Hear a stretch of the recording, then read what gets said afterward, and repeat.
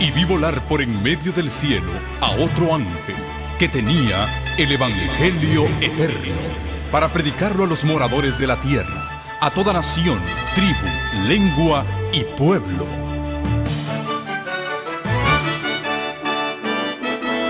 Con ustedes su programa cristiano con temas bíblicos de actualidad. Un programa que trae al mundo la verdad presente. Este es el Evangelio Eterno.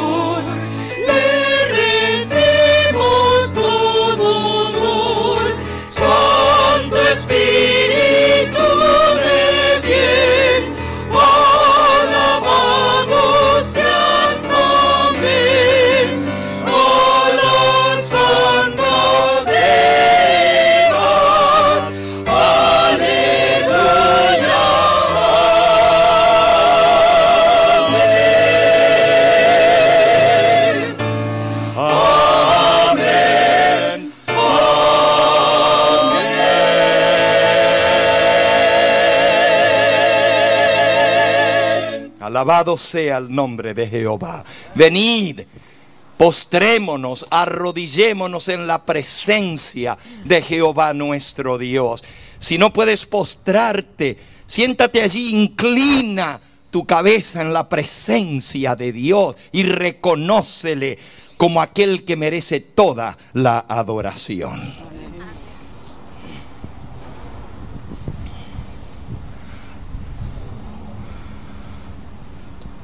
Amantísimo Padre y Dios nuestro, bendito, santificado, glorificado sea tu grandioso nombre. Oh Señor, estamos tan agradecidos porque en este tu santo sábado podemos venir a reunirnos, aunque sea aquí al aire libre, en medio de la naturaleza que tú creaste, para traerte tributo de alabanza. Gracias Señor, porque tú has sido bueno con nosotros. Reconocemos que hay muchos hermanos que no están con nosotros, hay muchos que aún están luchando contra la enfermedad que los ha azotado. Te damos gracias por tantos otros. Entre ellos me incluyo, Señor, mi esposa y yo, que nos has devuelto la salud nuevamente. Y te pedimos que sigas obrando en favor de cada hermano y hermana que todavía está luchando con la fuerza que viene del cielo para salir adelante de, esta, de este terrible flagelo. Pero reconocemos, Señor, que a los que aman a Dios, todas las cosas les ayudan a bien. Humildemente te pedimos que tú aceptes la adoración que hoy te ofrecemos. Queremos que nuestros cánticos, nuestra alabanza, nuestros diezmos y ofrendas puedan henchir de gloria tu recinto sagrado, que lleguen hasta ti como dulce incienso ante tu presencia. Y también te pedimos que tú, mediante tu Espíritu Santo, que es enviado del cielo, llenes de gloria este momento y este lugar donde nos acercamos para adorarte. Recibe, Señor, la alabanza que tus hijos te ofrecemos y háblanos tú. Háblanos a través de tu palabra. Que tu Santo Espíritu nos diga a nuestras espaldas, oye hijo mío, este es el camino, hija mía. Anda por él y no tuerzas ni a mano derecha ni a mano izquierda. Y nosotros queremos pedirte que nos des la fuerza de voluntad y el poder que viene de lo alto para hacer lo que tú nos mandas. Gracias por estar en nuestro medio y gracias por el privilegio de adorarte en esta hora. Y te agradecemos por tantos miles y miles que alrededor, no solo de aquí de California a través de los medios de comunicación, los canales, sino alrededor del mundo, se unen a nosotros en esta hora de alabanza. Y te pedimos que tú los bendigas también a ellos y los alcances con tu misericordia donde quiera que están. Trae consuelo a los enfermos, sanidad. Trae resignación a los dolientes que han perdido seres queridos. Ministra a cada necesidad en nuestra vida y que en esta hora podamos salir de este lugar diciendo, fue bueno venir a adorarte, oh Dios. Fue bueno venir a escuchar tu palabra. Fue bueno ver a nuestros hermanos en este santo sábado. Alabado sea tu nombre. Nos consagramos a tu servicio en esta hora en el nombre precioso de nuestro amado Salvador, el Señor Jesucristo. A Él sea la gloria y la honra por los siglos de los siglos. Amén, Señor. Amén.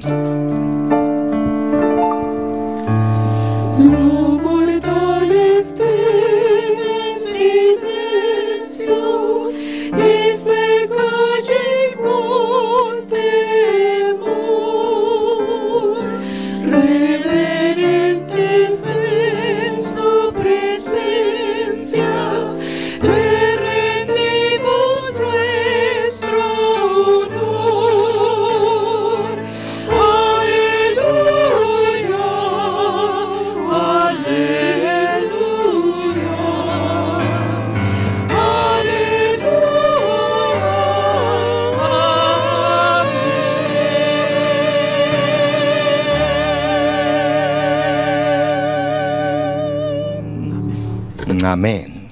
Amén. Puestos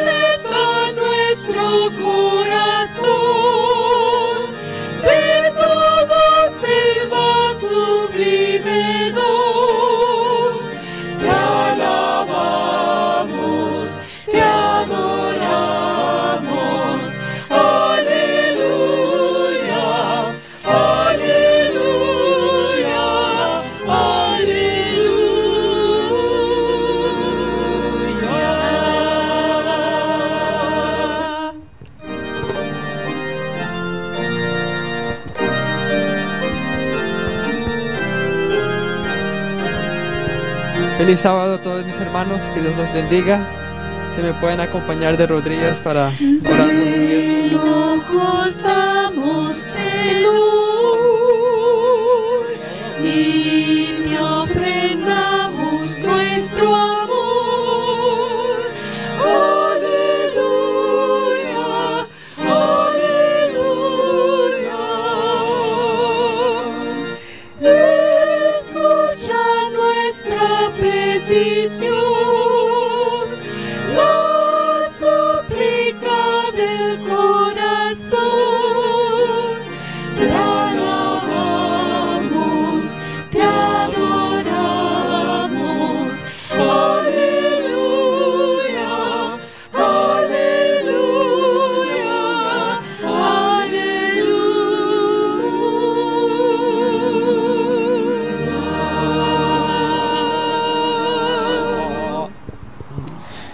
Querido y bendito y amante Padre que moras en las alturas de los cielos, santo, santo y santo es su bendito nombre, Padre. Amén. En este día de hoy, Padre, le damos las gracias por otro día más de vida que usted nos ha concedido a cada uno de nosotros.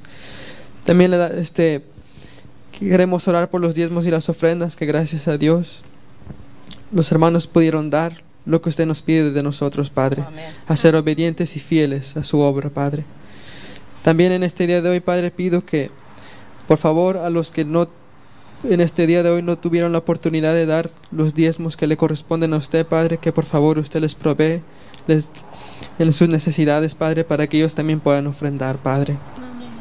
También, Padre, pido que en este día de hoy unja al pastor Hugo Gambetta, Padre, con su bendito y santo espíritu, para que no sea él el que hable, sino sea usted, Padre, el que hable por medio de él, y para que dé el mensaje que le tiene que dar a su pueblo en este día de hoy. Amén. También quiero orar por todos los que están enfermos con esta pandemia, Padre.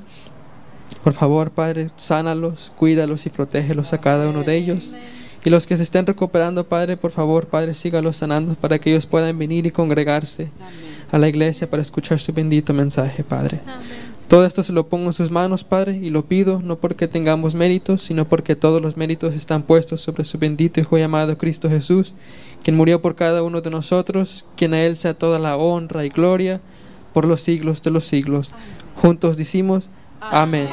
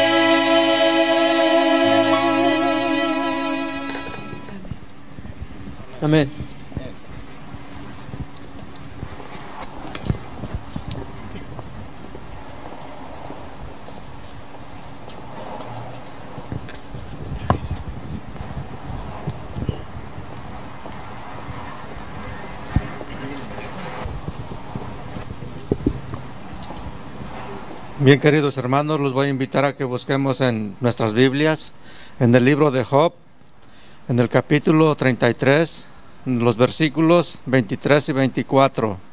Y ya que lo tengan, los voy a invi- invitar a que se pongan de pie. Job, capítulo 23, 33, versículos 23 y 24.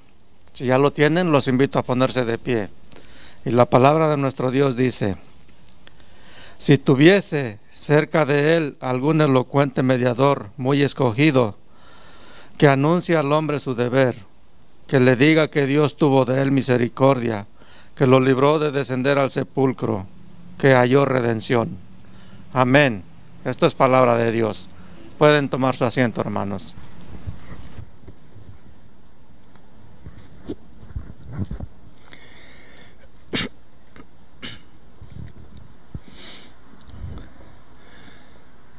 Un feliz y santificado día del Señor para cada uno de ustedes. Qué bonito que se ve la hermandad distribuida por todo alrededor aquí. Algunos pues a la sombra de los árboles, otros al solecito, pero todos alabando a nuestro Dios. Y ahora le vamos a pedir al Señor que nos ayude a concentrarnos en el estudio de su palabra. La palabra de Dios y el diccionario del cristiano tiene muchos vocablos que son muy importantes. Por ejemplo, la palabra amor,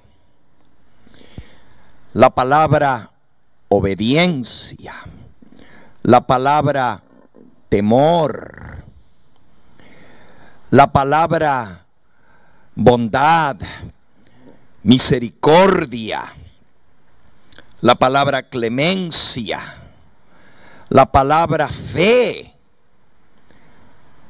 la palabra paciencia, benignidad. Y podríamos hablar de muchas palabras importantes en el diccionario del cristiano. Pero hoy voy a hablar de una palabrita. Y esa palabrita es la palabra que contiene el secreto del éxito o del fracaso en la vida cristiana. Es más,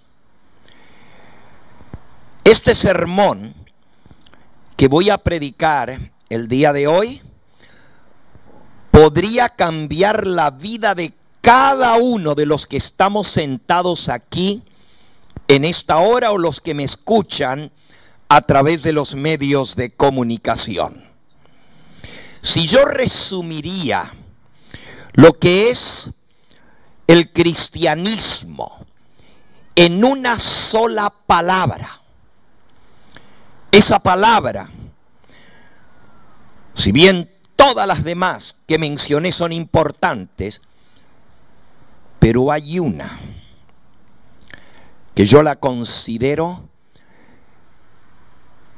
lo que hace la diferencia en ser un cristiano maduro y un niño en las cosas de Dios. Y esa palabra es deber. ¿Escucharon bien? ¿Cuál es? Deber. En inglés, duty. Duty. Y tú dices, pero ¿y por qué esa palabra? El sermón lleva por título Tu deber. Y leímos en nuestra lectura bíblica en el libro de Job, en el capítulo 33. El libro de Job lo escribió Moisés, el mismo que escribió los primeros cinco libros de la Biblia. Pero pone estas palabras en boca de Eliú. Y dice así el versículo 23. Si tuviese cerca de él, está hablando del hombre. Y si ustedes leen los versículos anteriores, está hablando del que está pasando por enfermedad, por tribulación, el que ni siquiera tiene ganas de comer, que su carne desfallece, sus huesos que antes no se veían ahora se ven, y su alma se acerca al sepulcro, y su vida está al final. Pero en medio de ese contexto, dice el versículo 23, si tuviese cerca de él algún elocuente mediador muy escogido que le anuncie al hombre su deber, que le diga que Dios tuvo misericordia de él, que lo libró de descender al sepulcro, que halló redención. ¿Saben lo que esto quiere decir, hermanos? Que si Dios nos ha librado en medio de la tribulación que el mundo entero está sumido, si Dios nos ha librado, como dice el versículo, de descender al sepulcro, que Dios tuvo misericordia de nosotros, entonces tenemos una responsabilidad. Tenemos una deuda para con Dios, porque todavía estamos vivos, porque todavía nos permite Dios la vida. ¿Cuántos de los que estamos aquí, me incluyo, fuimos afectados por esta terrible pandemia que está cobrando vidas a diestra y a siniestra? Y es muy doloroso escuchar los pedidos y los lo que nuestros hermanos hablan cada mañana. En nuestra hora de oración a las 5 de la mañana no hay un día que no se añada a la lista más y más nombres de gente que está padeciendo por el virus. Tan solo una familia de nuestra iglesia esta semana perdió tres miembros de su familia que sucumbieron bajo la enfermedad. Y sigamos orando por la familia Espinosa. Sí, hermanos, si hay gente que está en el hospital, hay gente que está entubada en un respirador, que su, su vida pende de un hilo.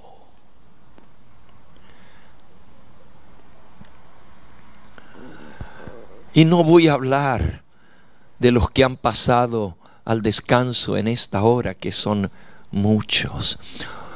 Una hermanita que escucha nuestro canal, ingresó a nuestro grupo de oración esta semana y los que están al pendiente cada mañana a las 5, pues recuerdan el pedido de nuestra hermanita con mucha tristeza, suplicando que oremos por su esposo. La hermanita María Flores. Ella dijo, oh, que el Señor sane mi esposo, porque él y yo queremos ir a la iglesia de Anaheim, queremos bautizarnos y entregar nuestra vida al Señor. Pero su esposo está entubado, no sabemos todavía ni ella misma sabe por qué. La doctora le dijo que lo iban a desconectar esta semana del respirador. 59 años de edad. No sé si la hermanita María Flores está aquí o si está ya en el hospital hoy. Ella quería estar con nosotros.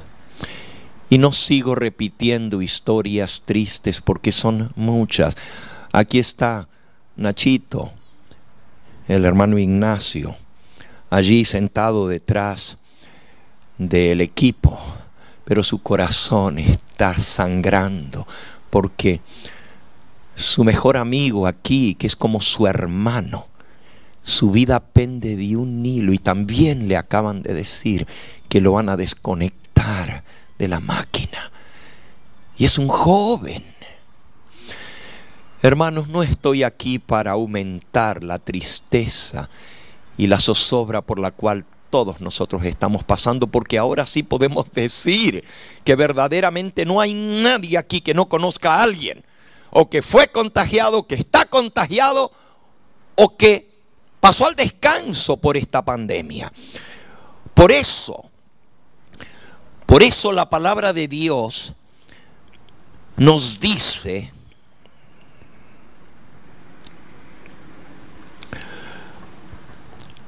su alma se acerca al sepulcro y nosotros podemos decir que hoy estamos bien. Y no podemos creer que personas que amamos, que las vimos hace unos días atrás, ya estén tan mal y su vida se acabe.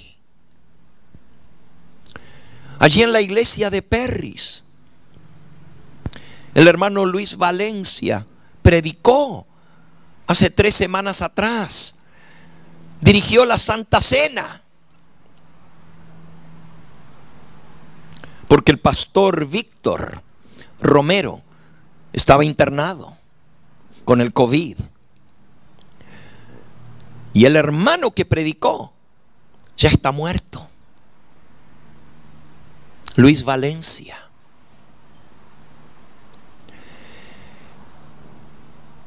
Nuestra vida.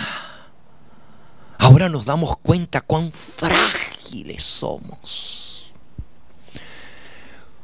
Cuán débiles como seres humanos somos. Si Dios no nos da la respiración día con día, hora con hora, minuto con minuto, perecemos. Por eso tenemos que darle gracias a nuestro Dios que nos tiene aquí con vida. Dice el versículo 23 de Job 33, si tuviese cerca de él alguno elocuente mediador, alguien que se pare al lado de nosotros y anuncie al hombre su deber. ¿Y cuál es su deber? Ahora lo vamos a ver. Que le diga al hombre su deber. Que le diga que Dios tuvo de él misericordia. Que lo libró de descender al sepulcro. Que halló redención. Y hermanos, yo no me pongo en el lugar de Cristo que es nuestro mediador. Pero aquí el escritor del libro de Job dice, ojalá quien diera que tuviésemos alguien que nos dijera que ahora que Dios nos ha librado, tenemos un deber para con Él, que le anuncie al hombre su deber. Y por eso mi sermón lleva por título Tu deber, porque somos deudores. La palabra deber tiene relación con la palabra deuda. Deuda es el sustantivo, deber es el verbo. Yo debo algo. Pero también en español usamos la misma palabra para deberle a alguien otra cosa, pero también para referirnos a que tenemos una responsabilidad que cumplir. En inglés hay dos palabras distintas. Una es debt. Debt quiere decir deuda. También en español la tenemos. Pero en inglés cuando decimos deber, se dice duty. Y duty es una responsabilidad que tenemos porque debemos ante aquel que nos dio la vida. Le debemos el cumplir. Y por eso la Biblia habla mucho de esa palabrita deber. Podríamos leer una cantidad de versículos. Por ejemplo, en San Lucas, capítulo 17 y versículo 10. Lucas 17, 10. Dice así.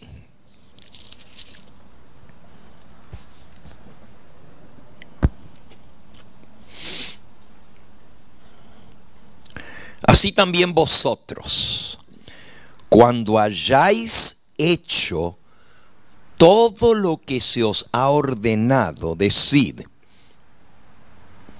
siervos inútiles somos, pues lo que debíamos hacer, eso hicimos. Debíamos hacer, es decir, teníamos un deber de hacerlo. Toda esta parábola que contó Jesús habla del deber, de cumplir con lo que el amo nos manda. Hicimos lo que era nuestro deber hacer. La Biblia habla del deber del esposo y dice en Primera de Corintios 7 y tengo muchos versículos que hablan del deber. Ah, no los vamos a leer todos, pero les voy a recordar algunos de esos deberes de los cuales habla la palabra de Dios. Habla de cumplir con el deber del esposo para con su esposa. Habla de cumplir el deber de la esposa para con el esposo. Habla de cumplir el deber del hermano para con su hermano. Habla del deber de los sacerdotes. Por ejemplo, en segunda de Crónicas 8:14 y lo leo porque pues eh, eh, este tiene que ver con los que ministran en la casa de Dios.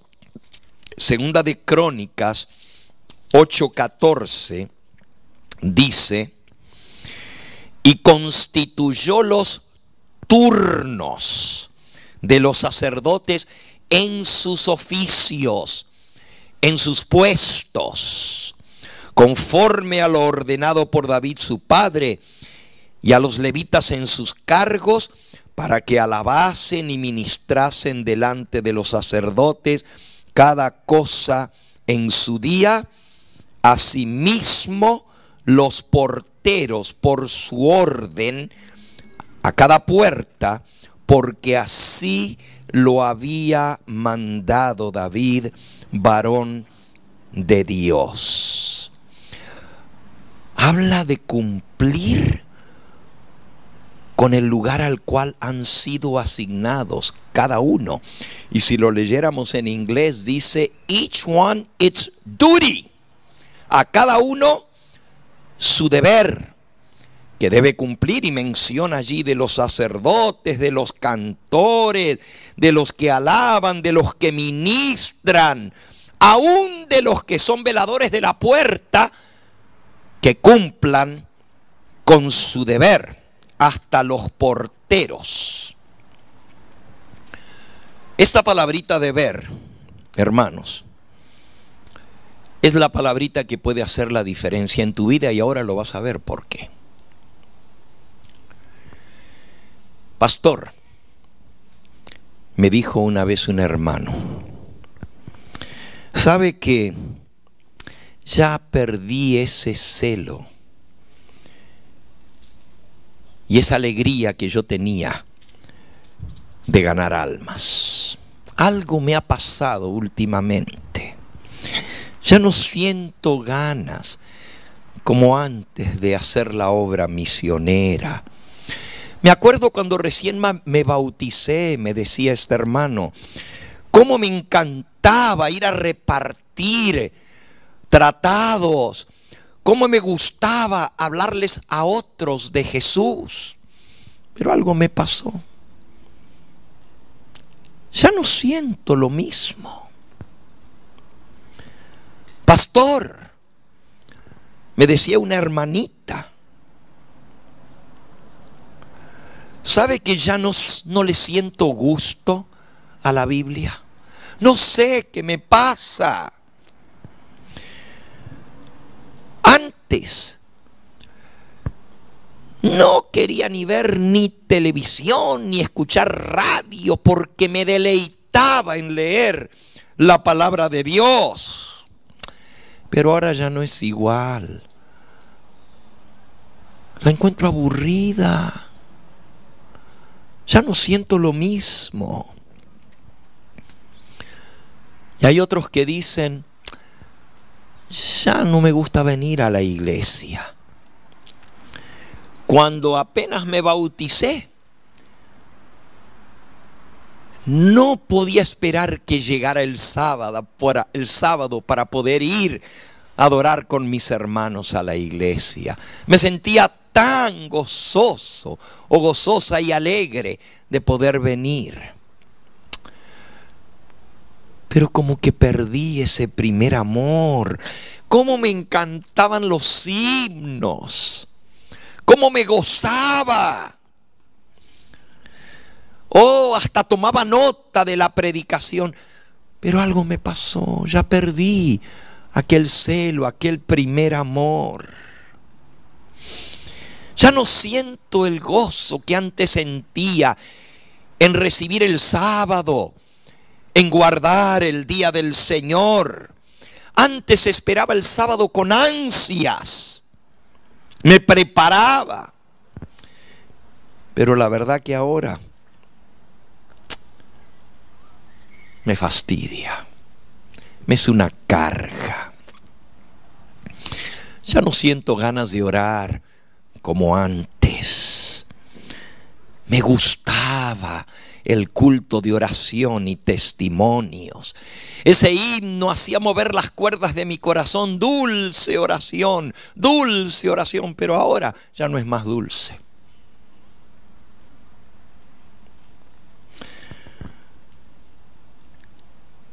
Pastor, me dijo una vez otro hermano, quiero renunciar a mi cargo de maestro de escuela sabático. Antes me encantaba preparar la lección. Ah, sentía gozo cuando venía delante de mis hermanos a enseñar la palabra. Pero la pura verdad es que ya le perdí el sabor. Mejor busque a otra persona, pastor, porque no no siento lo mismo que antes. Y otros dicen, ya no me gusta trabajar en la obra misionera y traer visitas. Oh, cómo me gustaba usar mi carro y traer la gente a la iglesia, pero ya no. Perdí ese primer amor. Y así puedo seguir hablando. Cómo me gustaban las conferencias, no me perdía ninguna. Pero ahora me da pereza salir.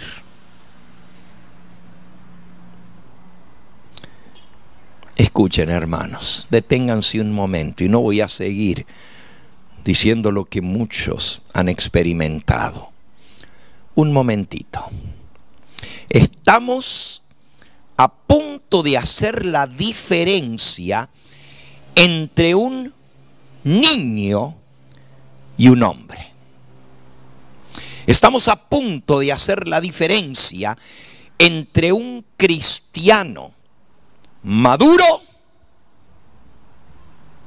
y un, decimos en mi país, pelele. Un cristiano a medias debilucho. Llega el momento, nuestra experiencia cristiana, hermanos, cuando las cosas no se hacen por inspiración, sino por obligación.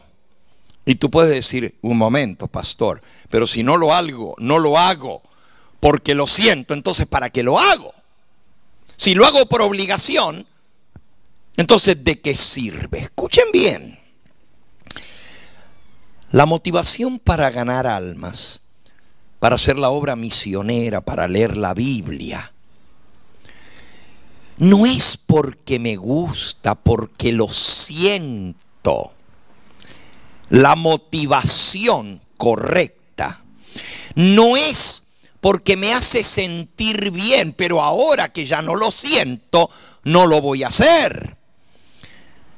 La motivación para hacer el deber cristiano no es porque me encanta, sino porque tengo un deber ante Dios, porque le debo la vida cada día y Él no se cansa ni pierde las ganas a diario de ayudarnos a nosotros. Entonces, ¿con qué derecho podemos tener, decir? ¿Con qué derecho podemos hablar? Ya no lo siento. Ya no lo voy a hacer. Porque Dios quiere que lo haga de corazón y como ya no lo siento, mejor no lo hago. Mira, si Dios hiciera lo mismo con nosotros, ay de nosotros.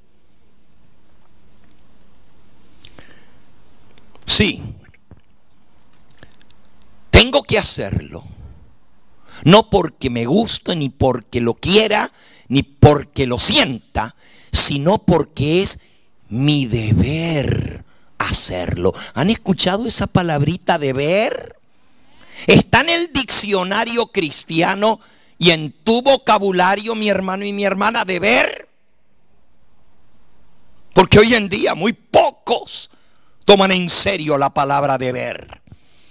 Si llega el momento en tu vida cristiana, y te llegará, porque a todos les puede llegar, cuando la Biblia ya no te parezca interesante, si llega el momento, cuando eso sucede, ¿vas a dejar de hacerlo y de leer la Biblia porque no lo sientes? ¿O lo vas a seguir haciendo porque es tu deber hacerlo? Si lo haces porque lo sientes,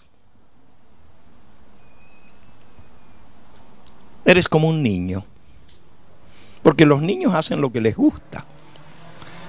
Pero si lo haces por cumplir tu deber delante de Dios, entonces estarás entendiendo lo que significa ser un cristiano maduro. Cuando hagas las cosas por cumplir delante de Dios, porque tienes el deber de hacerlo, te estarás transformando en un cristiano verdadero. Entonces estarás comenzando a comprender lo que significa ser un verdadero cristiano. Cuando ya Juan 3, 16 o Juan 14, 1 al 3, ya te lo sabes de memoria y ya no te hace vibrar tu corazón. Y dices, ¿para qué voy a leerlo si ya lo leí tantas veces? Pero buscas el pasaje y lo lees. Porque es tu deber hacerlo. Entonces vas a saber lo que significa hacer las cosas como Dios manda. Sí va a llegar el momento cuando ya no tengas ganas de levantarte a las 5 de la mañana a la oración. Sí va a llegar el momento cuando estés cansado de estudiar la lección de escuela sabática. Pero cuando tú dices, lo voy a hacer, porque es mi deber hacerlo, ahí es donde estás transformándote en un cristiano que hace las cosas por principio y no por sentimiento. Un cristiano que hace las cosas por obligación. Y yo sé que en la mente de nosotros decimos, no, pero si lo hago por obligación, no le agrada a Dios porque Dios no quiere nada obligado. ¿Y por qué entonces Dios nos manda tanto que hagamos las cosas? ¿A poco estudiar o escudriñar las escrituras es una opción? ¿A poco Dios dice en su palabra, escudriña las escrituras si te place? No, Él dice, escudriñad las escrituras. ¿A poco el Señor dice en su palabra, si quieres, ve a predicar el Evangelio. No, Él nos manda, es una orden. Id y predicad el Evangelio. Es un mandato del Señor, es una comisión. No tenemos derecho a decir no, porque no lo siento. Mira mi hermano, te voy a hablar clarito. Cuando sientas que ya no tienes ganas de seguir como diácono en la iglesia,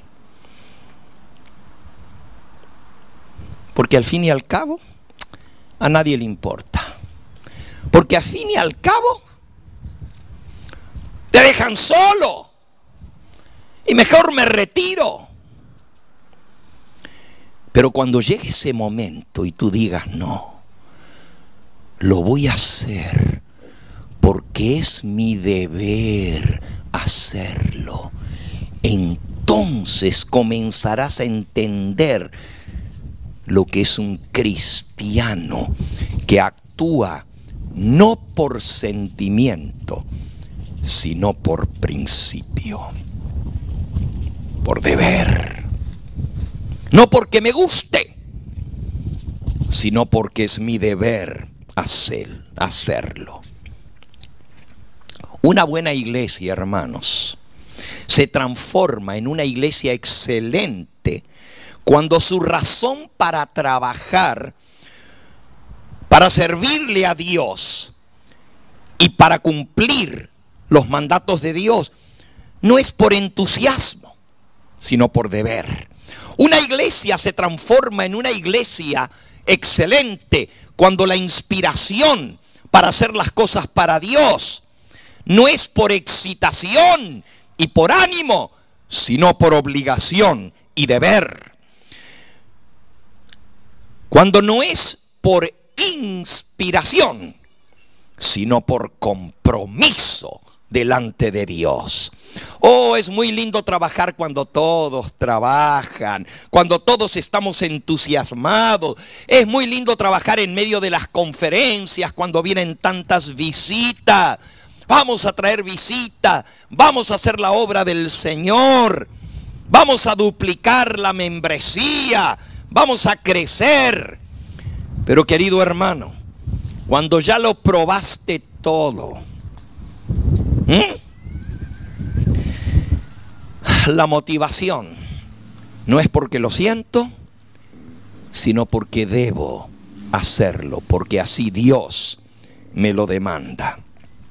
Lo que haces cuando ya lo probaste todo, cuando ya lo sabes todo, determina qué clase de cristiano tú eres. Es muy fácil ir con la corriente. Es muy fácil hacer lo que los demás hacen cuando todos vamos para el mismo camino, pero lo que haces cuando estás a sola, cuando lo estás haciendo cuando ves que los demás no lo hacen, eso es lo que determina el grado de tu madurez en el servicio a Dios, el grado de tu compromiso con Dios. Hay cristianos que no se interesan en nada por lo que la iglesia hace. Hay algunos que ya nada los entusiasma, nada los atrae. Pero ¿por qué todavía hay hermanos que salen a la calle a ayudar a los necesitados? ¿Por qué todavía hay hermanos que invitan a visitas a la iglesia? ¿Por qué todavía hay hermanos que aún en contra de su propio cuerpo, que les dice que quieren seguir durmiendo un poco más, se levantan para estar juntos en la oración? Porque hay algunos que lo hacen por principio, por decisión, por deber de hacer lo que Dios manda. Pobrecito del cristiano que pierde su celo cuando pierde su deseo. Pobrecito del cristiano que pierde su amor por las almas cuando pierde su entusiasmo. Pobre de los cristianos que dejan de leer la Biblia cuando le pierden el gusto. Pobre de los cristianos que dejan de orar cuando ya no tienen ganas de orar. Si la palabra de Dios nos dice, escudriñad las escrituras, es una orden del Señor. Si la palabra de Dios nos dice, orad sin cesar, es una orden del Señor. Si la palabra del Señor nos manda, nos manda ir y predicar el Evangelio, y si Él es nuestro Señor, entonces ¿qué soy yo? ¿Qué soy yo? Si Él es el Señor. Pues soy un siervo. Él es el amo. Yo soy el que obedezco. Volvamos por un momentito al versículo que leímos hace un momento para leer su contexto, el de San Lucas en el capítulo 17. Fíjense el contexto de este versículo, Lucas 17, 7, y se van a sorprender porque es duro lo que dice aquí. Dice el versículo 7 de Lucas 17, ¿quién de vosotros teniendo un siervo que ara o apacienta el ganado, al volver él del campo de trabajar todo el día, luego el amo le dice, pasa mi siervo, siéntate a la mesa, que te voy a servir. Hmm. No le dice más bien, prepárame la cena, ciñete y sírveme hasta que haya comido y bebido yo, y después de esto come y bebe tú. Wow. ¿Acaso da gracias al siervo porque hizo lo que se le había mandado? Pienso que no, dice el Señor. Así también vosotros, cuando hayáis hecho todo lo que os ha sido ordenado, porque hay un Señor, un amo, un soberano que es el que manda y nosotros somos sus siervos. Así también vosotros, cuando hayáis hecho todo lo que os ha sido ordenado, decid, siervos inútiles somos. Porque el deber que habíamos de hacer, eso hicimos. Realmente, el cumplir el deber es parte integral de ser siervos de Dios. No es una opción. El siervo que quiere agradar a su Señor hace más de lo que se le pida. Pero si nomás hace lo que le mandan, el amo le va a decir, está bien, hiciste lo que te pedí. Y ni le da gracias porque simplemente cumplió lo que se le pidió. Pero el que quiere agradar a su Señor, el que quiere hacerlo para tener feliz a su amo, pues corre y hace más de lo que se le pida. Por eso dice allí, siervos inútiles somos, porque el deber que nos diste, ese cumplimos. ¿Estamos entendiendo lo que significa este tema del deber? Cuando estés cansado, mi hermano, de ser diácono,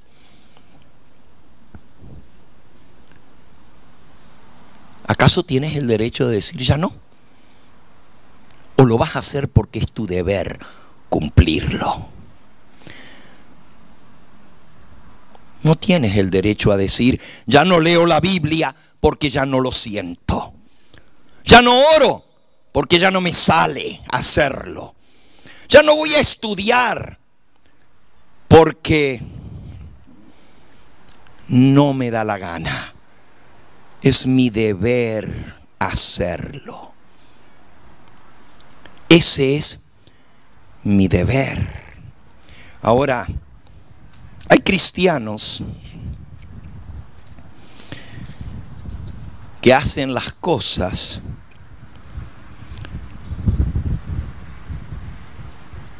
porque lo sienten. Y hay otros que lo hacen porque es su deber hacerlos.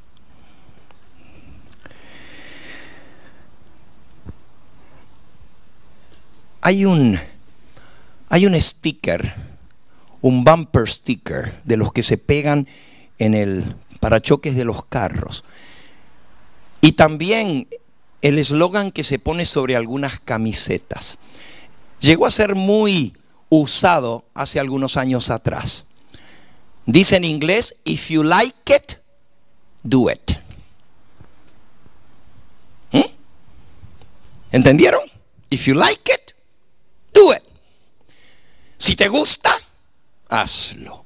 Y claro, a nosotros no nos gusta mucho ese refrán porque está relacionado con muchas cosas, ¿verdad? If you like it, do it. ¿Eh? Si te gusta el sexo, hazlo. Si te gusta esto, hazlo. O sea, haz lo que se te dé la gana. Pero la pura verdad, hermanos, es que si fuéramos sinceros, podríamos llevar en nuestra espalda o en nuestra camiseta al frente el mismo sticker como cristianos. Porque hacemos las cosas si nos gusta. If I like it, I do it. Si me gusta, lo hago. Y si no me gusta, pues no lo hago. Saben, hermanos, cuando yo era chico, una comida de niño que yo detestaba era la berenjena. Yo no sé a qué niño le gusta la berenjena, ¿verdad? Pero a mí no me gustaba la berenjena. Y saben, mi mamá me daba berenjena y me la ponía adelante y me decía, la vas a comer. Y yo patealeaba y lloraba y decía, no me gusta, no quiero. Pero mi mamá me daba la berenjena y me decía, la vas a comer. Y yo no la comía. Y mi mamá no quería pelear, pero simplemente en la próxima comida me ponía el mismo plato de berenjena. Pero mamá, si ya comimos eso al mediodía. Tú no lo comiste, aquí está lo que dejaste, ahora lo vas a comer. Y cuando ya el bichito del hambre da vuelta, pues entonces lo comía. ¿Quieren saber algo, hermanos? Pregúntenle a mi esposa cuál es mi comida favorita ahora, que lo diga ella. ¿Cuál es, Mabel? La berenjena. si me quieren agasajar, háganme una lasaña de berenjena. En lugar de ponerle la masa de los, de los espaguetis o cómo se llaman los que se mete entre medio, la pasta, la pasta, pónganle capas de berenjena con salsa y me lo como la lasaña de berenjena, pero me gusta de todas las formas. Me gusta la berenjena al escabeche, me gusta la berenjena al horno, me gusta la berenjena hervida, me gusta la berenjena de todas las maneras y la detestaba. ¿Qué estoy diciendo con esto, hermanos? Que cuando hacemos las cosas por obligación, con el tiempo se transforman en delicia. Fíjense lo que estoy diciendo. A veces los cristianos no queremos hacer las cosas porque no lo sentimos. O a veces lo hacemos porque estamos muy contentos en el primer amor y cumplimos hasta que Dios dice, mm, lo voy a probar este cristiano. Le voy a quitar el gusto. Algunos de nosotros perdimos el gusto con el COVID, ¿verdad? ¿Y por qué seguíamos comiendo si no tenía gusto la comida? ¿Por qué? Porque había que hacerlo. No nos íbamos a quedar sin comer. Y aunque no nos gustaba, lo comíamos. A veces Dios le quita el gusto de algo al cristiano para probarlo. Para ver si lo hace por deber para cumplir lo que Dios manda, o si nomás lo hace porque le gusta. Y déjenme decirles, cuando el cristiano deja de hacer las cosas porque ya no lo siente, hay que ponerle el speaker sobre su camiseta. If you like it, do it. ¿Eh? Lo hago porque me gusta. Pero Dios quiere que actuemos por deber. Miren hermanos, un día se te va a quitar el primer amor. Porque todos los nuevos bautizados vienen con énfasis, vienen con gozo. Pero va a llegar el momento que se te vuelva rutina, porque así es todo en esta vida. Pero en ese momento, si tú sigues siendo fiel a Dios y haciendo lo que Dios te manda en su palabra, vas a pasar de ser un niño a un cristiano o una cristiana madura. Porque ya no lo haces por sentimiento, sino por cumplir tu deber. Es tiempo que los adventistas del séptimo día comencemos a ponerle junto a la palabra amén. Integridad, mi hermano. Junto a la palabra gloria a Dios, pégale la palabrita decencia. Junto a la palabrita aleluya, ponle la palabra carácter. Ya es hora que los adventistas al amén le pongamos al lado cumplir. A gloria a Dios le pongamos obligación. Y aleluya le pongamos deber. Cuando digamos aleluya por el deber cumplido, ahí seremos verdaderos adventistas del séptimo día. Porque nosotros no funcionamos por sentimientos, sino por deber, por cumplir lo que Dios manda. Y tú me dices, pero, pero eso no suena bien, porque si lo hacemos por obligación, pues no está bien. Cuando lo haces aunque no lo sientas, estás siendo un cristiano que cumple por principio. Pero te voy a decir algo. Después que lo haces, aunque no te gusta hacerlo y no lo sientes, va a llegar el momento cuando te guste la berenjena. y va a llegar a ser tu delicia, porque lo hiciste aunque no te gustaba por obligación, pero ahora lo vas a hacer porque el segundo amor, la Biblia dice, mira que tengo contra ti que has dejado tu primer amor. Pero luego dice, mira de dónde has caído y levántate y vuelve a hacer las primeras obras. Entonces cuando volvemos después, ¿eh? porque el cristiano al principio está aquí arriba, se bautizó, acaba de conocer la verdad, está feliz y está dichoso de servirle al Señor por tanta bendición. Pero luego llega a lo que se llama un plató. El plató es eh, la, ¿cómo se dice en español? La, la, la meseta en la vida cristiana, la meseta. ¿Ok? ¿Eh? Donde ya no está en su vida.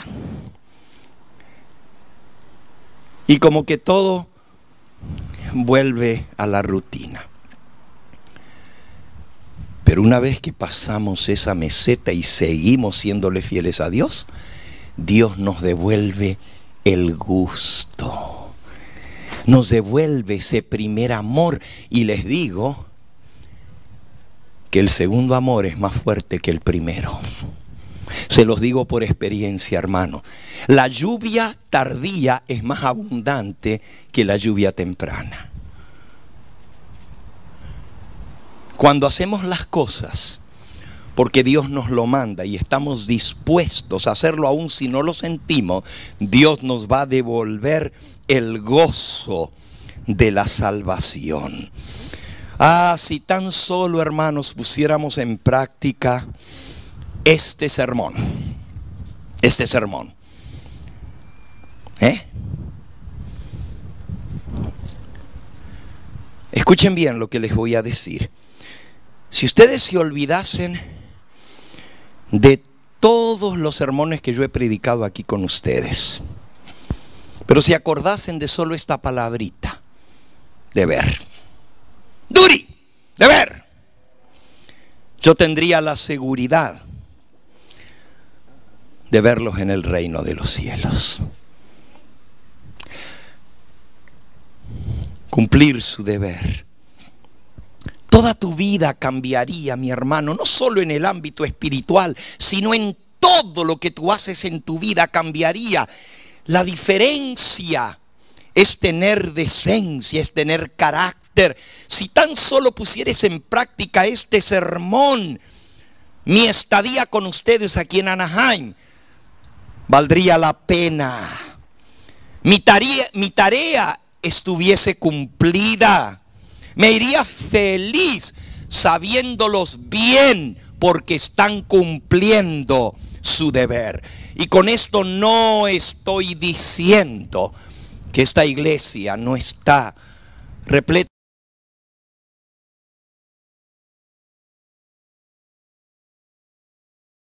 repleta de personas que actúan y cumplen su deber. Al contrario, le doy gracias a Dios por tantos miembros de esta iglesia que son leales y fieles.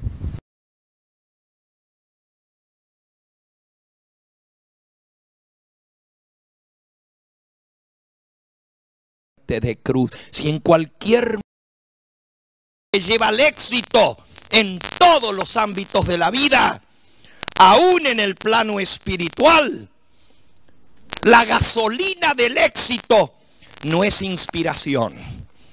La gasolina del éxito es obligación. Deber. Cumplir con tu deber.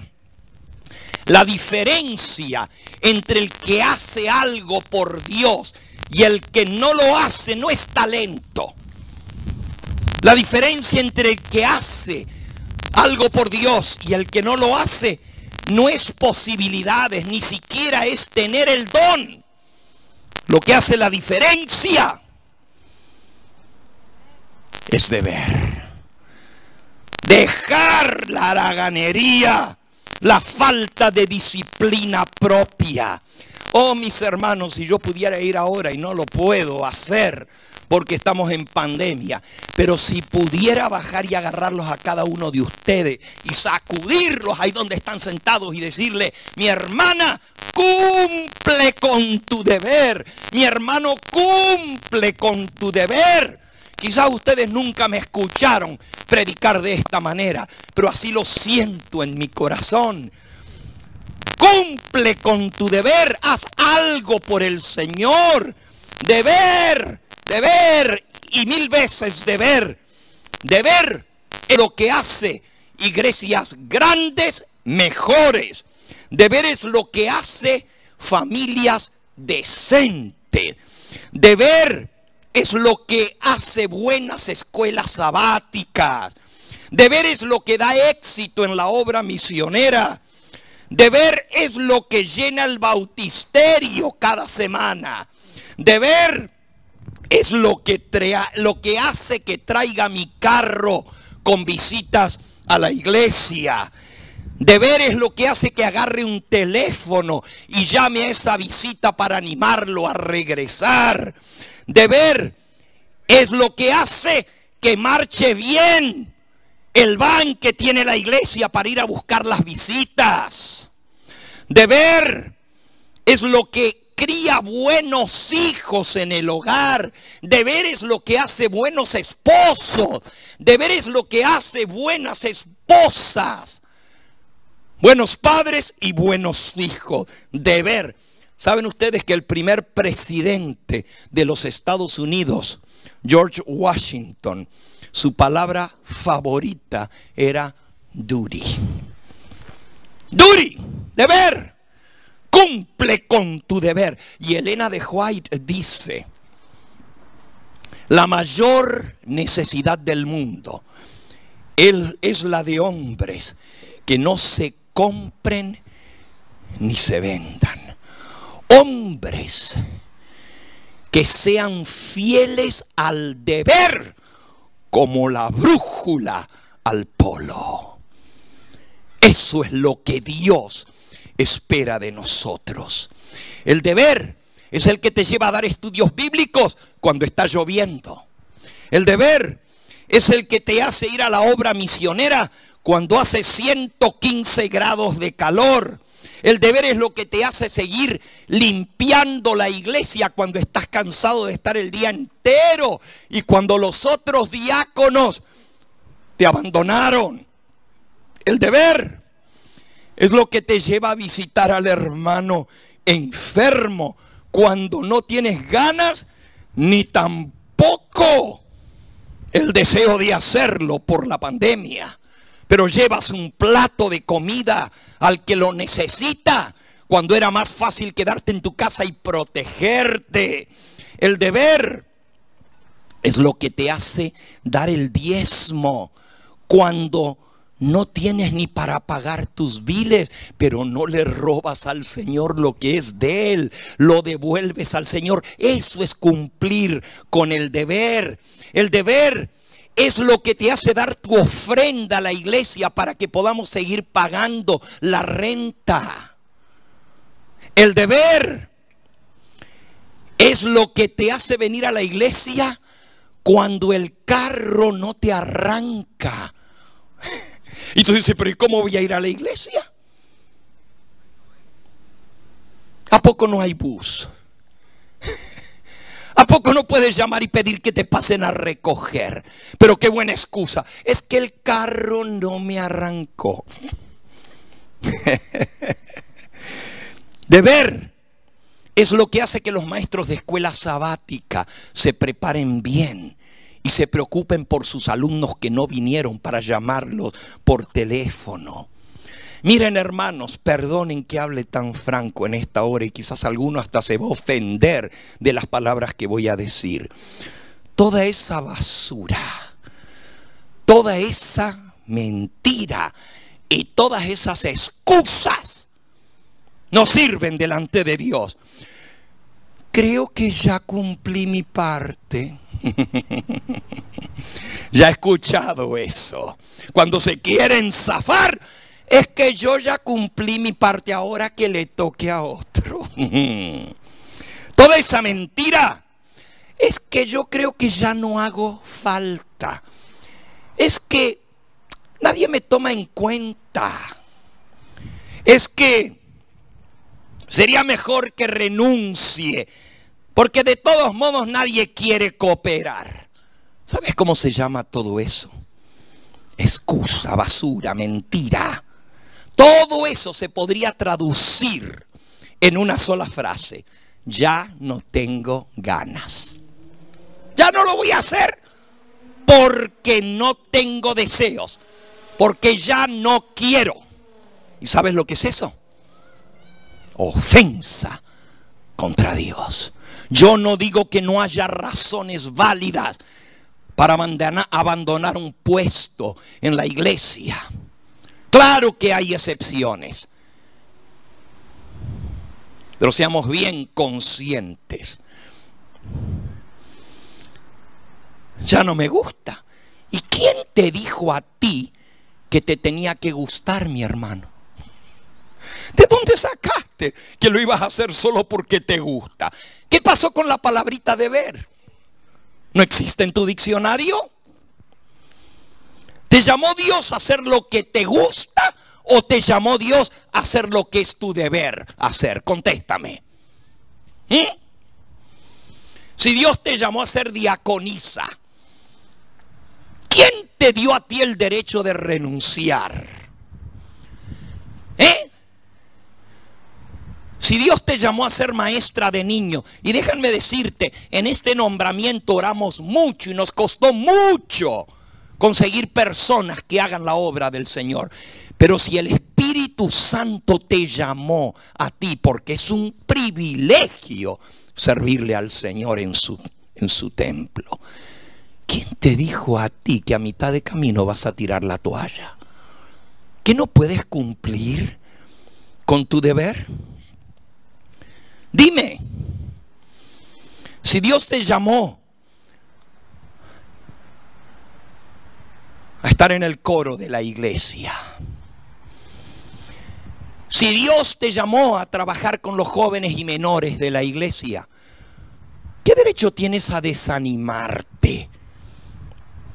¿Quién te dijo que iba a ser fácil ese llamado de Dios?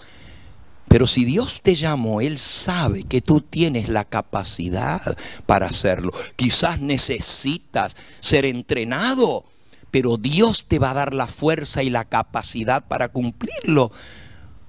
Si Dios te puso de director del coro o de miembro del coro, ¿por qué te desanimas? ¿No es mejor que cumplas con tu deber? Si Dios te escogió de anciano de iglesia, ¿Cómo te atreves a decir, ya no voy a cumplir con mi deber? ¿Qué derecho tienes a un cargo sagrado en la iglesia, un cargo dado por Dios, si no vas a cumplir tu deber? Mejor que escuches bien lo que te voy a decir ahora, mi hermano. Porque lo escuches o no, Dios te va a ser responsable de lo que te voy a decir ahora. Y yo sé que algunos están diciendo, oiga pastor, hoy vino usted como que el COVID lo dejó medio mal. ¿eh? Nunca lo habíamos oído hablar de esta manera. Hmm.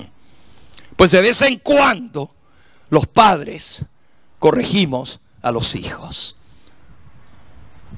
Porque necesitamos corrección.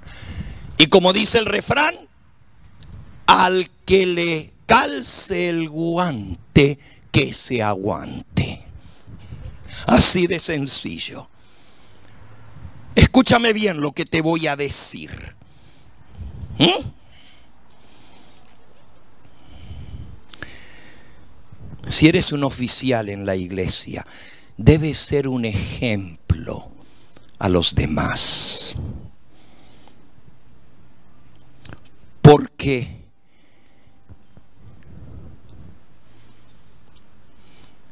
Dios te ha hecho dechado. ¿Con qué excusa puede faltar a los servicios de la iglesia? Y dices, bueno, pastor, si usted se pone así, pues mejor no.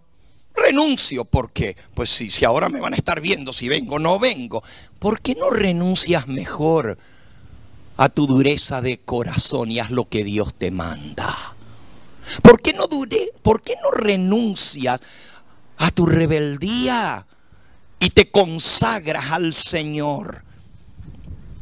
Y esto va para todo cristiano aquí presente. Es tu deber venir a la casa de Dios. Repito, sé que hay excepciones. Hay personas que tienen que atender a otro. Hay personas que están enfermas y no van a venir porque tienen el deber de no contagiar a otro. Entiendo las excepciones, pero estoy hablando de cumplir con lo que Dios nos manda en su palabra. No dejando de congregaros como algunos lo toman por costumbre. Y tanto más ahora que vemos que el día se acerca, dice la palabra del Señor en Hebreos capítulo 12. A ver, maestro escuela sabática, diácono, diaconisa, anciano, director de departamento. Yo no sé cómo, pensamos. Pastor, es que no vine a la iglesia porque me fui a otra. Pero si fui a la iglesia, ¿eh? nomás que, que no fui. Y ahí andan visitando, pero tenían una responsabilidad que cumplir en su iglesia. Es que me tocaba dar la oración en la iglesia tal y tal, me pidieron. Ajá, ¿y tu responsabilidad aquí qué?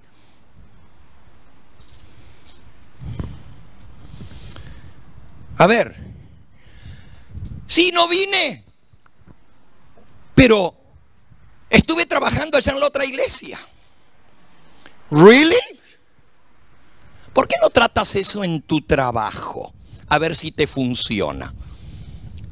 Trabajas en una fábrica o en lo que sea. No vienes el lunes al trabajo, ni el martes.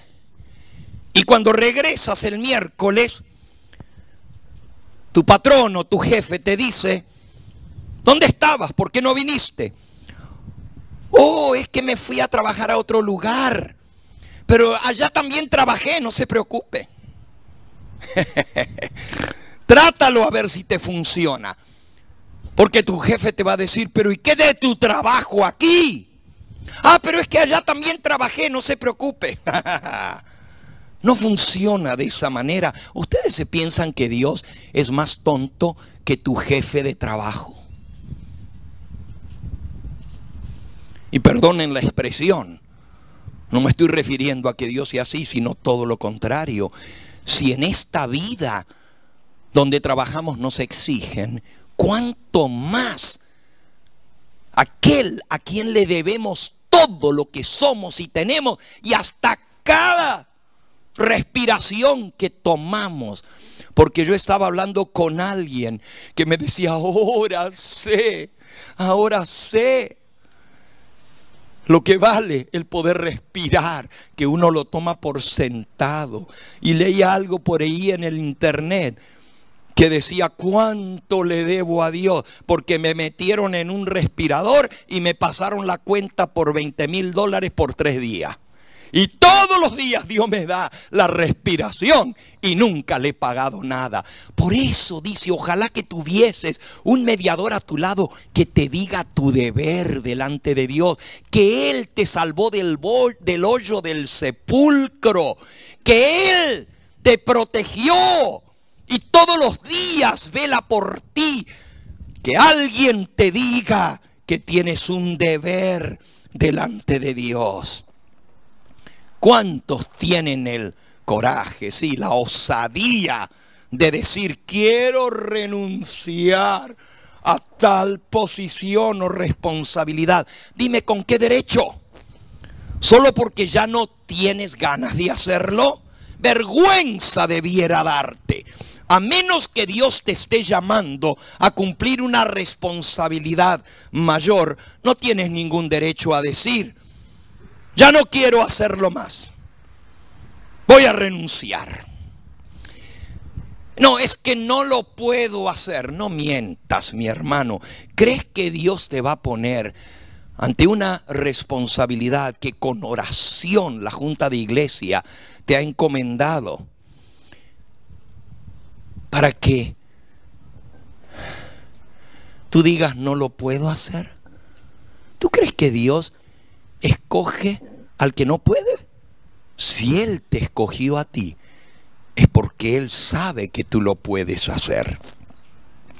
No es que no tienes capacidad o don o talento. Es que te falta obligación, te falta integridad. Es que huyes al deber. Sí, mi hermano deber.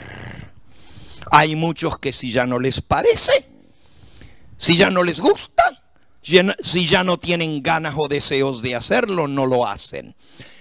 Mira, mi hermano y mi hermana, si no cambias tu motivación, vas en camino a la perdición. La motivación no es si me gusta, la motivación no es si tengo ganas, la motivación no es si lo siento, lo voy a hacer, la motivación es lo hago, porque es mi deber hacerlo.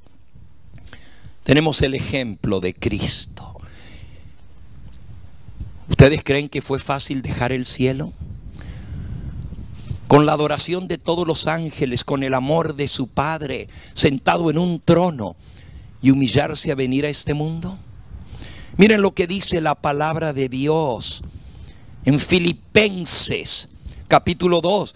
Y aquí está el ejemplo del soberano del universo. Dice el versículo 5 de Filipenses 2.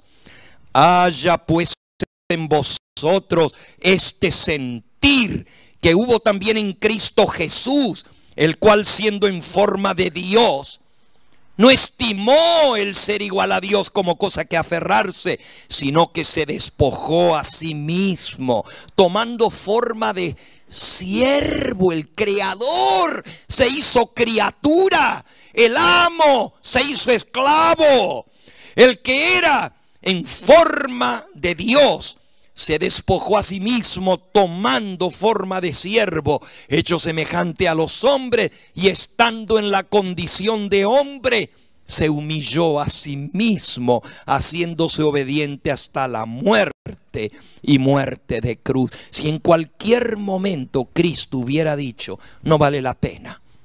Imagínense que si estando en la cruz y aquellos que él vino a salvar, le escupían, lo maldecían, se burlaban de él, hubiera dicho, basta, no vale la pena. ¿A qué vine a salvar a estos? Y le hubiera dicho al Padre, Padre, basta. ¿Qué hubiera pasado con nosotros? Si Él no hubiera cumplido con su cometido y su deber, ¿qué hubiera sido de nosotros? Pero Cristo no se aguantó. Cristo no se rajó, como decimos en buen mexicano. Él cumplió su deber hasta beber la última gota de la copa amarga que le tocaba vivir y lo hizo por ti y por mí. Esa debe ser nuestra motivación. Ese es el ejemplo que el Señor Jesús nos ha dado. Haya pues en vosotros este mismo sentir que hubo también en Cristo Jesús. Ese sentir debe estar en nuestro corazón. El cumplir hasta el final. Termino diciéndote en esta hora. Y te lo voy a leer porque lo escribí para ti y para mí. Una sola palabra hace la diferencia entre el estudiante de A y el estudiante de F. Y esa palabra no es talento, ni don, ni inteligencia. Es deber. Una sola palabra hace la diferencia entre el joven que viene al altar a ofrecer un brazo que ya arrastró con otras y el joven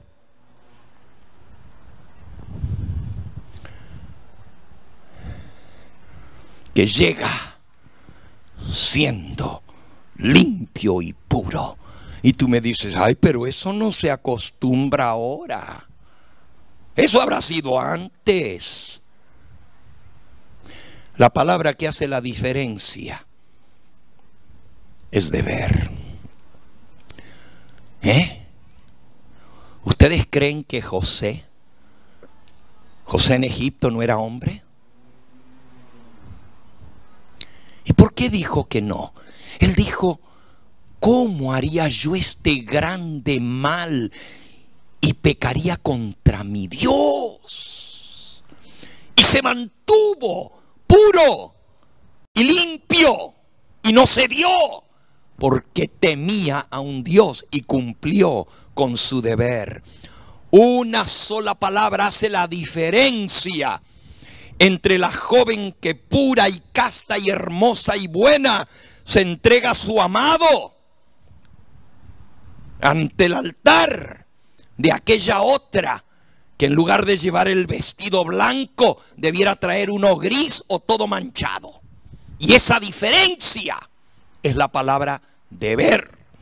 Una sola palabra hace la diferencia entre el joven que se queda estudiando y termina su curso y se porta bien en la escuela y el otro que tiene que ser expulsado o que a mitad de camino dice, hasta aquí llegué y ya no quiero seguir estudiando ni de médico misionero, ni de esto, ni de aquello, porque ya no me gusta, porque ya no puedo. Y el que se esfuerza y llega al fin de aquello que Dios le puso por hacer. Y esa palabra no es ni inteligencia ni sabiduría, esa palabra es deber. Así de sencillo. Una sola palabra hace la diferencia entre aquel que es fiel en su trabajo y cumple y el otro que es expulsado o echado de su trabajo.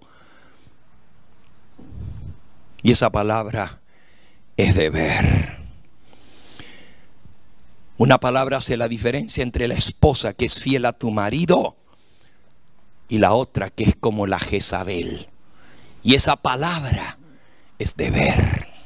Una sola palabra hace la diferencia entre el padre que llega a su casa temprano a estar con sus hijos, a cumplir con su deber de padre, y entre aquel que se queda con sus amigotes por allá afuera y no viene a su casa.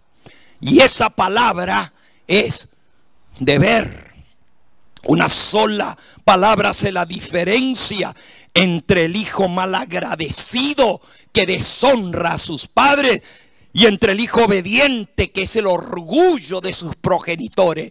Y esa palabra es deber, deber de hijo. Algún día, mi hermano, no vas a tener al pastor Gambetta que te, te esté predicando los largos sermones. Algún día vas a estar solo porque vienen tiempos muy difíciles que cada uno tendremos que mantenernos por nosotros mismos delante de Dios. Y lo que hagas entonces, cuando ya no tengas al pastor Gambetta animándote y predicándote, lo que hagas entonces cuando nadie te ve, determinará lo que realmente tú eres. Lo que haces no porque te están viendo, no porque te están animando o empujando o diciendo de que lo hagas, sino lo haces porque es tu deber hacerlo. Eso mostrará lo que realmente eres. Deber.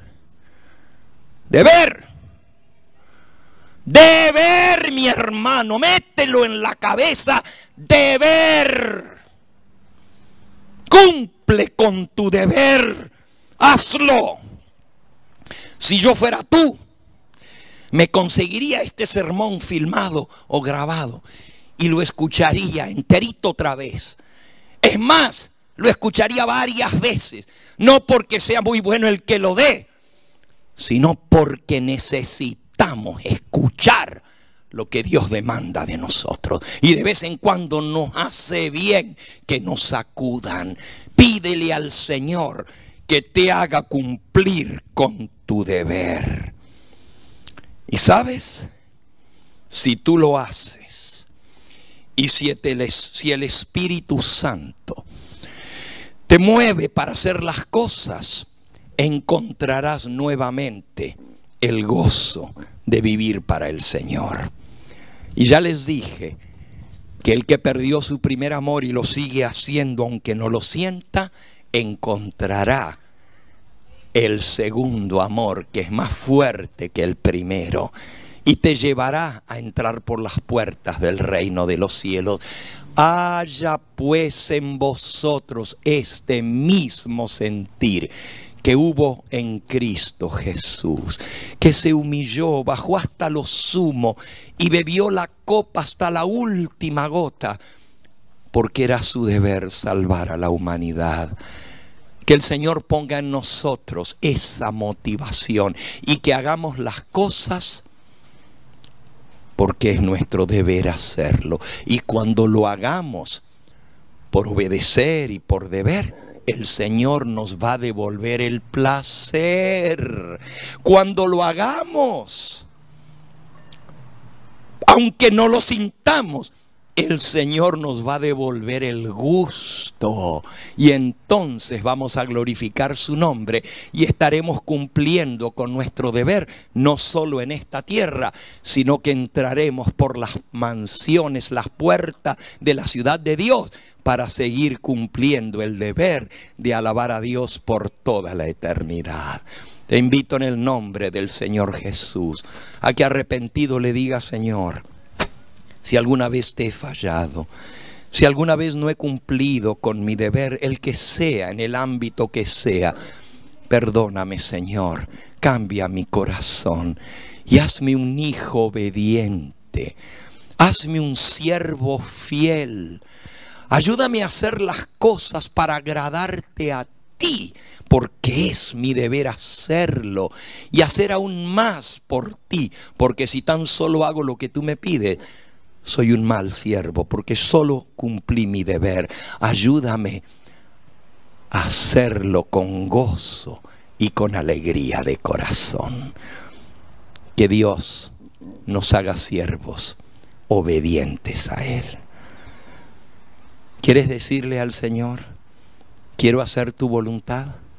Quiero, Señor, que tú grabes en mi corazón el deseo de servirte con todo gozo y alegría. Ya no estaré continuamente con ustedes como hasta ahora, pero sí voy a estar mirando y viendo mi querida iglesia de Anaheim, a ver cómo trabajan. ¿eh?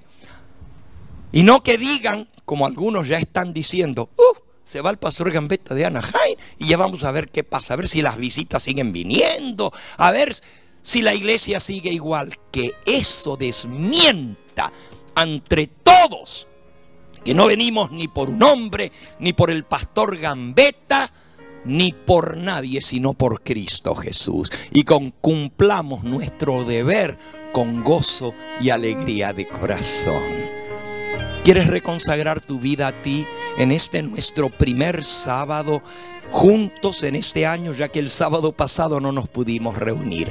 Pero en este primer sábado juntos aquí, ¿quieres tú reconsagrar tu vida al servicio de Dios? ¿Quieres, decir, ¿Quieres decirle, Señor, me debo a ti? Me debo a ti.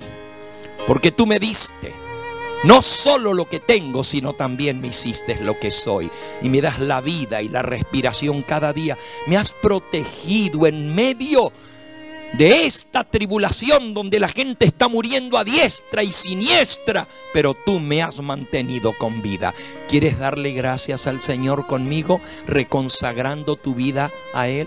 Amén, mi hermanita, mi hermanita Pérez, amén, mi hermanita Mari. Amén, mi hermanita Isabel. Oh, veo tantas manos que se están levantando. Amén, mi hermano Sergio. Amén, hermanita Sandra. Alabado sea el nombre del Señor, hermanita Mora. El Señor te bendiga. Oh, qué bonito es ver las manos de los jóvenes también levantándose y consagrando su vida al Señor. Vamos a ponernos en pie, hermanos, para decirle, Señor, aquí estoy. Me pongo en tus manos. Quiero servirte. Y vamos a pedírselo de todo corazón. No sé si la hermana ha escogido un himno para cerrar. Hay un himno, hay un himno muy bonito que dice, bueno, quizás el que ustedes escogieron. Adelante. Ok, amén. Es el himno número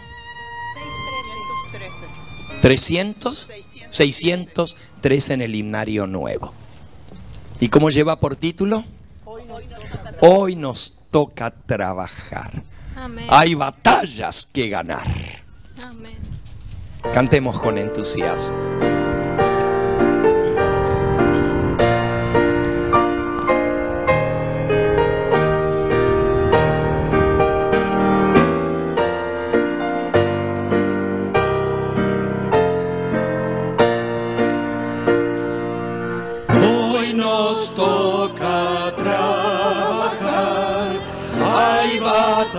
Batallas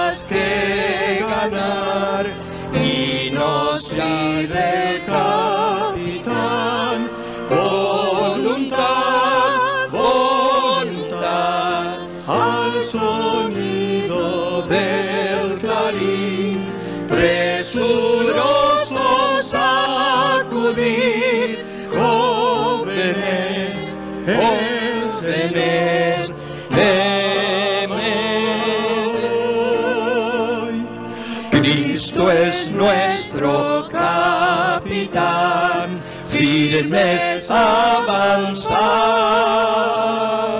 Almas hay que rescatar y sin vacilar. Jóvenes, jóvenes, llama hoy. Los soldados derrotados quedarán. Cerca el triunfo vemos ya. Voluntad, voluntad, la armadura hoy vestir. Adelante proseguir jóvenes, el Señor llama hoy. Cristo es nuestro capitán, firmes, firmes, avanzad. Almas hay que rescatar y sin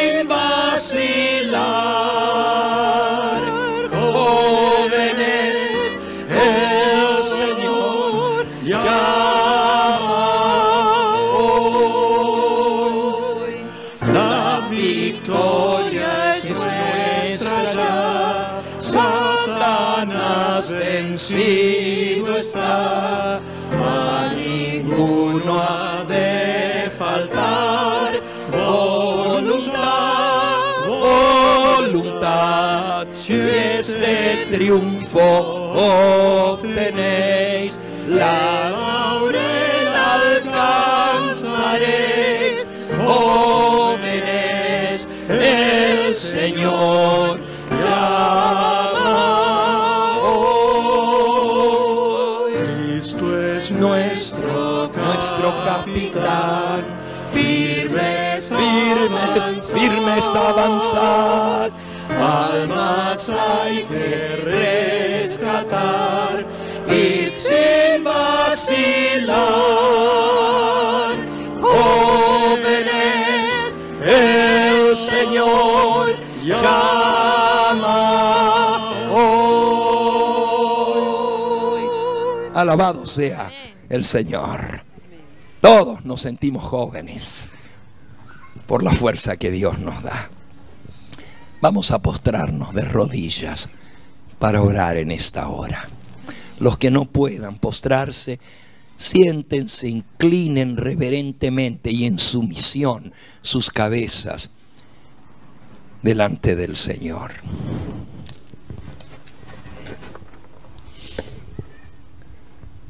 Padre Santo y Dios nuestro, te damos gracias porque tú nos has hablado a través de tu palabra, porque tú nos has, sacudido, nos has zamarreado, porque tu palabra dice yo a todo el que amo, disciplino y castigo a todo aquel que llamo por hijo.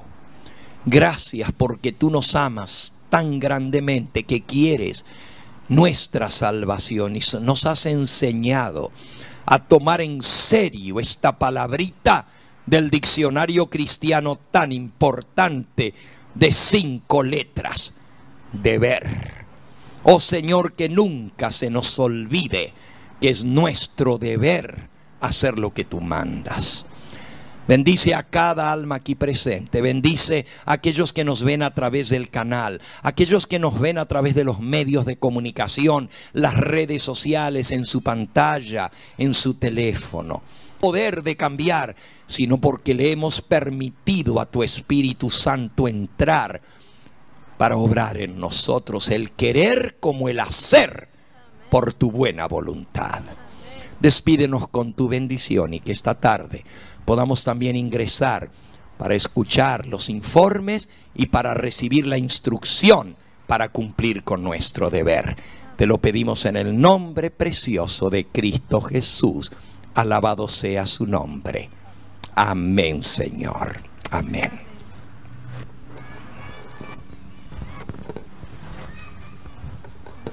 Nos veremos nuevamente el próximo sábado, hermanos. No olviden Ah, si alguno no tiene el link, pídale a algún otro hermano que la mayoría lo tienen en sus teléfonos para ingresar al Congreso. Y queremos decirles también, hermanos, que las clases en nuestra universidad comienzan el próximo domingo, es decir, de mañana en ocho. Hay becas que la junta de nuestra iglesia votó esta semana para ayudar a los que quieran estudiar, ya sea de médicos misioneros, ya sea en el área de teología o ya sea en consejería cristiana para ayudar como consejeros a otros. Si usted desea recibir una beca parcial, más o menos la mitad, la iglesia y el ministerio va a poner otra parte para que usted pueda ingresar a la universidad. Llamen al ministerio, llamen al teléfono, matricúlense esta semana y digan que son de la iglesia de Anaheim. Hay un solo requisito, hermanos, para recibir la beca. Y el requisito es cumplir tu deber. Ese es el requisito. Venir, servir en la iglesia del Señor. No nomás voy a ir porque me van a ayudar y voy a estudiar, pero si no, voy a poner mi vida al servicio del Señor. Este es el requisito, que estemos fieles cumpliendo nuestro deber. Les animamos a que ingresen, a que llamen por teléfono y se inscriban. Las clases son por en forma virtual en su casa las pueden tener, las pueden recibir. Y si algún día no pueden asistir, ese día va a estar grabada y se les va a dar un link para poder entrar y ver la clase en otro día. Que el Señor les bendiga y feliz día para todos ustedes. Bendiciones, sí.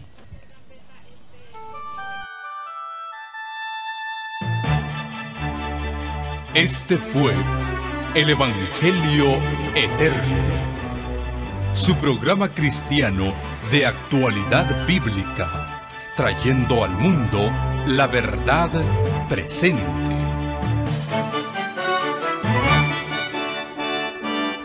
Y vi volar por en medio del cielo a otro ángel que tenía el Evangelio Eterno para predicarlo a los moradores de la tierra, a toda nación, tribu, lengua y pueblo